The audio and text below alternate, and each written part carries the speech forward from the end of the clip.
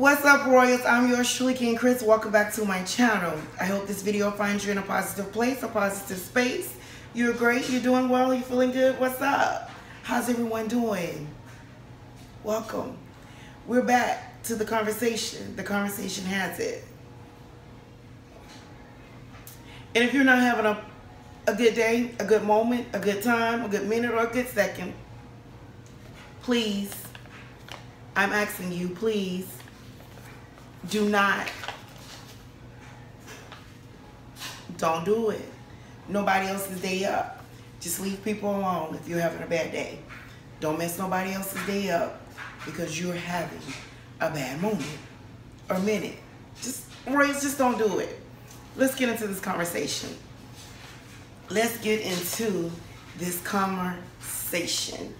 So, Thelma Ferguson went missing on March the 23rd after leaving her Sandy Springs home to go to the bank. She is the mother of the Ariel Atlantis housewife star, former star Sheree Whitfield. She holds the peach for six seasons of the 12 seasons in Atlanta's Housewives. Her mom went missing on March the 23rd. When she left, she was last seen wearing gray pants, black shirt, and driving a gray 2009 Honda Accord. Sheree kept quiet for it for weeks before she decided to post on her social media about her mom's missing. And she said the reason why, because we all know that she's very private when it comes to her personal things dealing with her family. And it was just something that she did not want to share. But she was in contact with the police over that period of time trying to figure out where her mom was. And she said that it wasn't, um, it was not unusual for her mom to go on vacations or take um, trips without letting them know. She did that sometimes and they were okay with her mom um, doing that. So um, I, that was probably a really big panic for her knowing that her 77 year old mom did not return after leaving the bank. There's probably just couldn't even imagine what was going through her mind at that time when she couldn't get in contact with her mom and she haven't seen her mom for several days. It's really sad um, for that. So we pray that, you know, she have the strength that she need as she's going through what she's going through. But it is safe to say that Thelma, Sir, Thelma Ferguson, I'm so sorry, Thelma Ferguson, 77 year old, she returned home safe on April the 10th. Sheree made a post saying that her mom was safely home and she was thanking everyone for all the prayers and all her prayers and you know the comfort prayers. And her mom made it home safe. So that was really really good um, for her. So the conversation has it. Whew.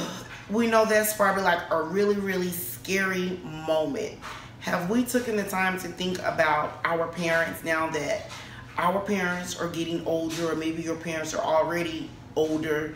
And have you like sit down and talk to your parents about maybe dementia alzheimer's? Because sometimes that's the case when elderly people goes missing they usually have some type of a little bit of dementia or something like that going on. So those are things that you know we have to start being more visual of and start learning a little bit more of the signs and the symptoms of dementia and Alzheimer's.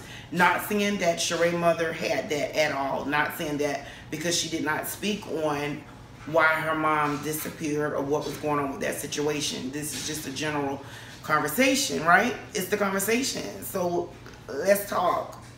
Yeah, so a lot of times when people are like go into their first signs of Alzheimer's or dementia, they usually drive off, get lost, can't remember things, misplacing their keys and things like that. So it's time like if you have an elderly parent to kind of like start being more visual of them and their memories and things like that and try not to let them leave home and drive by themselves a lot because um, dementia, Alzheimer's, it's really, really sad to see someone lose their mind, their memory.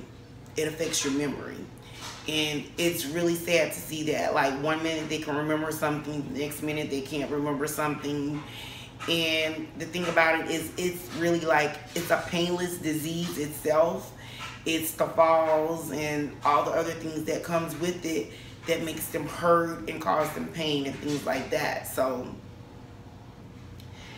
yeah, so it's just really sad. I hope, like I say, that's not the case because she did not speak on that, and we pray and hope that is not the case. Once you have worked around patients with dementia and Alzheimer's, it really gives you a sense of life because a lot of these people that has the dementia and Alzheimer's, they're school teachers, they're doctors, they're bedside nurses, and it's just sad to see them there at that state. A lot of times they go back to remembering things and acting like a child.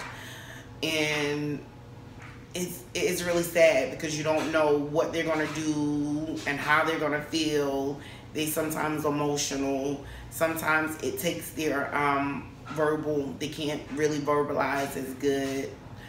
Um, they can't really tell you what's wrong with them so it's really a sad thing to watch a loved one suffer, and it's a sad thing to watch a child come and be the caregiver for their parent and see that their parent is in that state.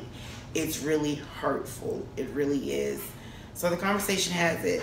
Make certain that we're taking care of our mind, our brains. Make sure that you're put that into prayer. That's something that I've always put in my prayer since I've started doing that type of work um, as a part-time gig, working with um, dementia and Alzheimer's um, patients, I like God, just please let me be able to keep my mind. Let me be able to do things for myself that I'm able to do for myself now. It's it's really a it's really crazy to watch such a life change in these people and watch from the time that you begin to take care of them to the middle to the ending of it. And usually it comes with a lot of falls and usually the falls usually what takes most of them out. They have a really really bad fall. Because you know as you start getting older your bones are starting to get more fragile. Um, you're starting to be able to um, get hematomas and your skin is really, really tender, so it starts to tear and rip and the scrapes and things like that. And it's so sad to see that some of them, they do realize that they can't remember and that makes them upset and it, and it hurts them. And also you have some really, really good times with them as well. Sometimes they can go back and they can tell you about their careers, they can tell you about their families, they can tell you about their kids, and then maybe the next day or maybe the next hours, they won't remember it. Sometimes they remember you, sometimes they won't. So sad. It, it really is sad to see someone go through that. And we pray and we hope that is not the case for Sheree's mother. We really do. We pray and hope that that was not the case. Like I said, she did not state that at all it's just something that I know that people go through at the beginning of um, dementia and Alzheimer's. It's, um, it's life. We just don't know where life is going to take us. We don't know when we're going to come in the world. We don't know if we're going to come in the world rich, poor, happy, or sad. And we don't know how we're going to leave. We don't know how we're going to leave. That's the real sad thing about life. The real sad thing about bedside nursing is you see people die and you see people suffer each and every day. And you go in a room and you take care of them. And it's just it's sad. It's a it's really sad to see that someone suffers through dementia and alzheimer's. It's really sad. It is Royals, I thank you so much for joining me. I hope you like the conversation. I hope you're great. Please make certain that you subscribe, like, share, thumbs up, ring the bell so that you can keep up to date to all my videos as I load them. Remember, stay home, stay safe. Rona is still out there. She's real.